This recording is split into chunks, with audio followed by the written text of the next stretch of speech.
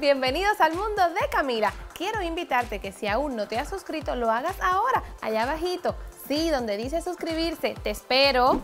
Y antes de empezar, ¿qué princesa soy? Déjamelo ahí escrito, lo voy a ver. Vamos a ver, ¿cuál tengo por aquí? ¡Ah! La princesa bella con su cartera. ¿Se acuerdan donde la bestia tenía la florecita? Que si la bella no se enamoraba de él, él se iba a ir bye bye. Pues mírenla aquí. Vamos a abrirla. La cartera es hecha como de un plástico suave, yo diría que de ese material como cuando íbamos al colegio de chiquito y nos ponían esos capuchones. Poncho, en mi país se dice poncho, ¿cómo se dice en el tuyo? Vamos a ver. Miren, se abre por aquí arribita y es como en forma de un cilindro. Yo diría que sería como un cilindro. La abres y entonces te vas a encontrar que tiene otra pequeña carterita. Cuando la abrimos, vamos a ver qué tiene. Yo diría que aquí podríamos poner pues todos los kilitos y las moneditas, así no andan por ahí regadas. Pues la flor es otra carterita, es como que tienes dos carteras en una. Está súper cool eso. Y también el detalle del broche es una florecita también. Nunca pierde el detalle de la carterita. Es lo más bonito que tiene. Y se ve de muy buen material. Esto se ve que va a durar. Y le puede coger viento, marea y agua. La carterita tiene una soguita bien larga, pero como es tan linda, yo diría que yo la llevaría solamente de hombro, porque cuando usamos las carteras cruzadas es más bien informal. Y yo no veo esta carterita tan informal, al contrario, yo la veo bien bonita y bien decente. Yo esto lo combinaría con un vestido rojo o verde, para que resalte la flor roja. Ay, sí, sí, sí, verde.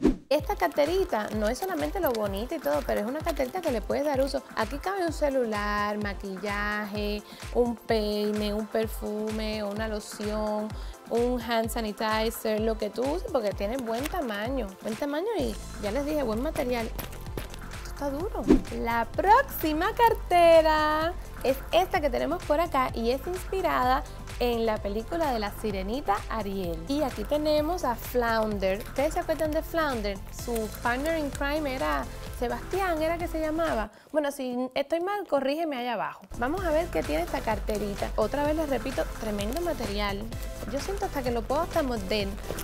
Está duro, está bueno, esto va a durar. Es una cosa que la vas a usar porque aparte miren qué chula está. Esta también tiene su cadenita larga esta sí yo la usaría como crossbody, así como cruzando el cuerpo, porque esta yo me la pondría con un jean, una blusita, hasta con un topecito. Ay, en mi país se le dice bajichupa, ¿cómo se le dice en el tuyo? Es un tope. Este que está acá, miren, me gusta mucho el detalle de los bordados que tiene, parece como si fuese a mano. Bueno, es que no es que sean tan baraticas, son un chin carita. Yo les voy a estar dejando los nombres de todas estas carteritas. De igual forma, todas vinieron de la misma tienda. Así que ahí van a ver y tienen muchas, muchas, muchas. Miren, también tiene como un pouch ahí. Y ahí también puedes poner tu identificación, una tarjetita.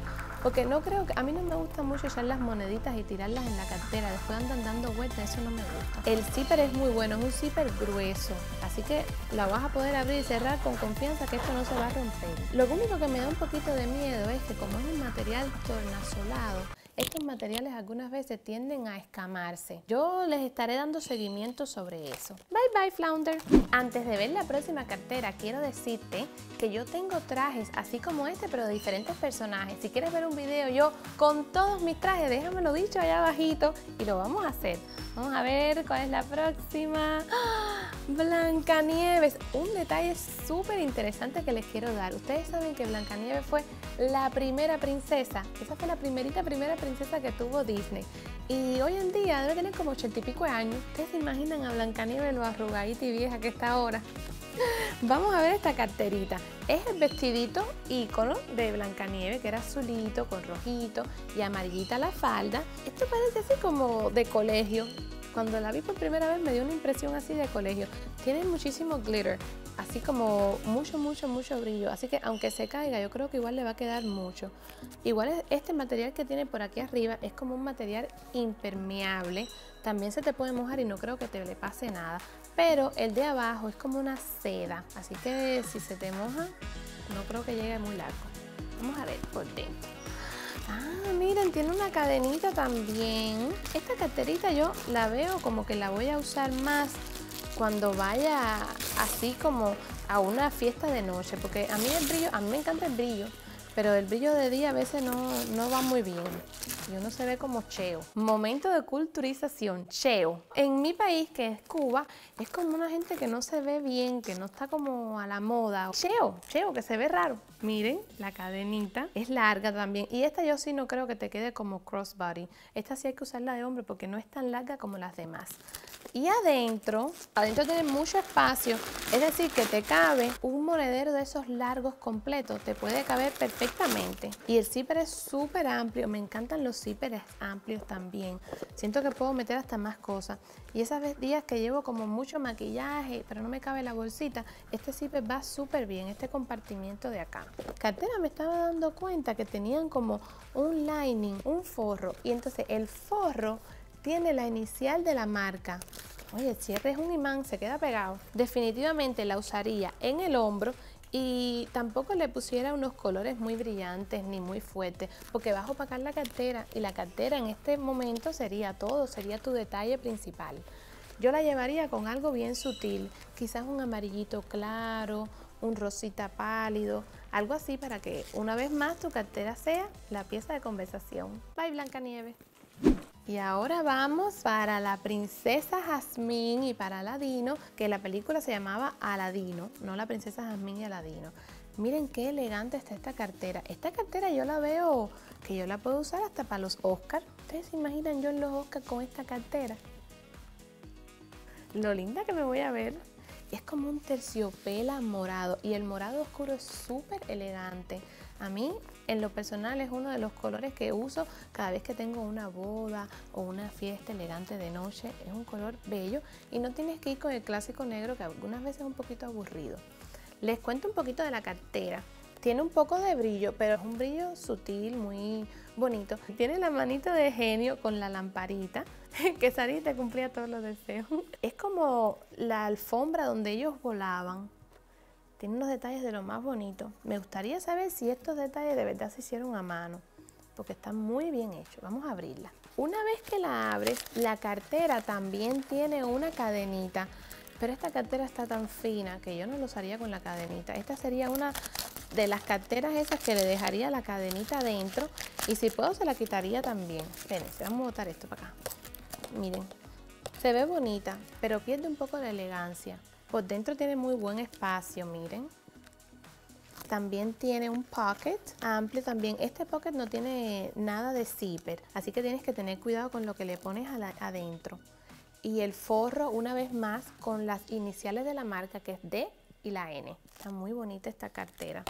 Creo que esta es mi favorita. ¿Cuál es tu favorita? Déjamelo dicho ahí abajo. Estas carteritas yo aún no las he usado porque estaba esperando para hacerles este videito a ustedes. Pero de igual manera yo siempre las voy a guardar con sus papelitos adentro. Todo esto tiene que durarme también muchos, muchos años, muchos. Así que siempre cuiden sus carteras, déjenle su forro, déjenle el ornamento que trae. Eso siempre va a ayudar mucho a la duración de las carteras. Siempre que a mí me preguntan, ay, qué linda está esa cartera, las personas piensan que es nueva y muchas veces tienen hasta 10 años mis carteras, pero es que yo las cuido muchísimo.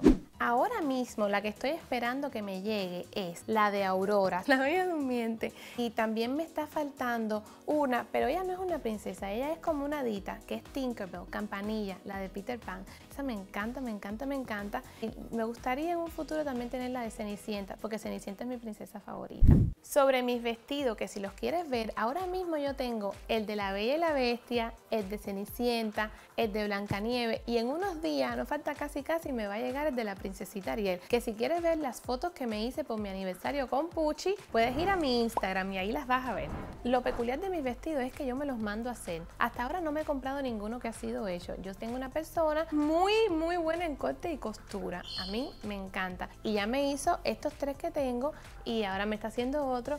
Mi plan es tener todas las princesas de Disney. Ese sería como un sueño realidad. Yo me quiero una princesa. Recuerda que si quieres ver el videito, yo con todos mis vestidos de Disney y también pintada y maquillada y quizás hasta le incluyo al príncipe, que es Pucci. Me lo dejas todo dicho ahí abajito, yo lo voy a estar leyendo.